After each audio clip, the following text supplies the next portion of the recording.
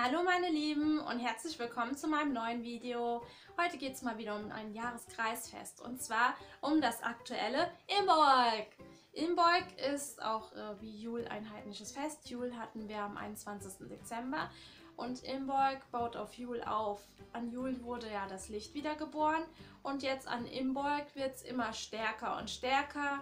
Wir haben immer mehr Licht, beziehungsweise die Tage werden immer länger. Also das spüren wir, das sehen wir, weil die Sonne geht früher auf, sie geht nicht mehr so früh unter. Also die Tage werden immer länger und auch immer wärmer. Das merken wir zumindest hier, wo ich wohne. Wir hatten jetzt die letzten Tage Minusgrade und so langsam haben wir die ganze Zeit Plusgrade. Im Moment sind sogar aktuell fast 4 Grad draußen.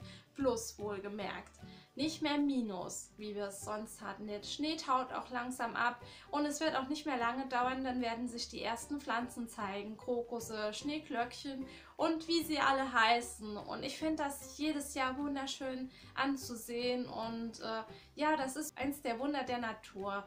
Also ähm, ja, Mutter Natur blüht langsam wieder auf. Sie wird wieder geboren, beziehungsweise ja, ähm, kommt wieder zum Vorschein. Vorher hat sie ja Winterschlaf gehalten, war in der Erde verdeckt oder wir haben sie nicht mehr so ganz äh, lebendig wahrgenommen. Im Herbst sind ja die Blätter von den Bäumen gefallen und äh, im Winter haben wir halt äh, so gut wie nichts, was blüht. Außer jetzt irgendwelche äh, Beeren an, am Ilek, die für Jul stehen. Jetzt beginnt halt der Frühling so langsam. Zu Imbolg feiern wir den Beginn des Frühlings. Deswegen werden halt auch viele Feuer, Kerzen entfacht.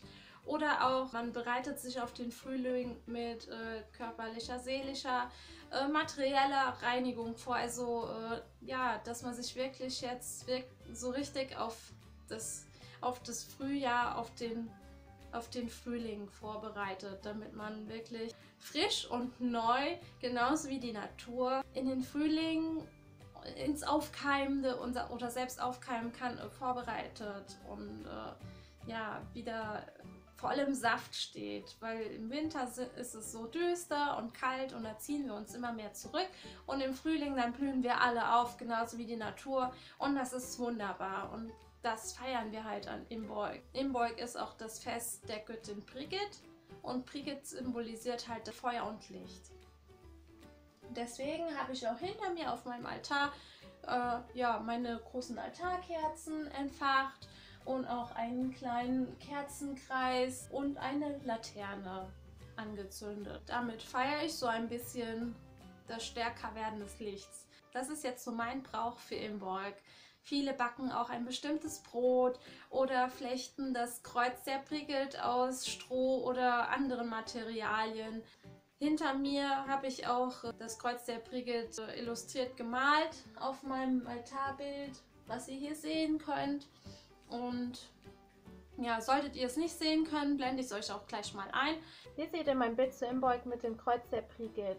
Jedenfalls, ja, das ist so das Fest der Brigit. Das Licht wird stärker, wir haben mehr Licht, mehr Wärme und ja, es ist einfach wunderschön, dass so langsam die Natur wieder auftaucht oder halt wieder lebendig wird, dass der Kreis des Lebens fortgesetzt wird, dass halt nicht jetzt alles nur gestorben ist, sondern auch äh, ja, zum neuen Leben wieder erwacht.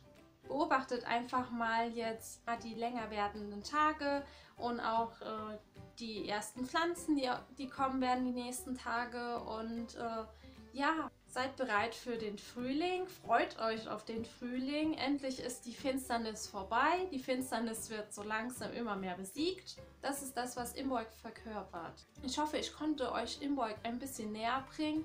Es war zwar jetzt oberflächlich. Manche sagen auch, dass das christliche Lichtmess oder das christliche Lichterfest hierauf fußt. Dafür gibt es jedoch keine Belege. Viele christliche Feste fußen ja auf heidnischen Festen, wie wir ja wissen. Jedenfalls geht es viel um Licht, Feuer und Wärme und Wiedergeburt. Ich hoffe, ich konnte euch Imbolg ein bisschen näher bringen.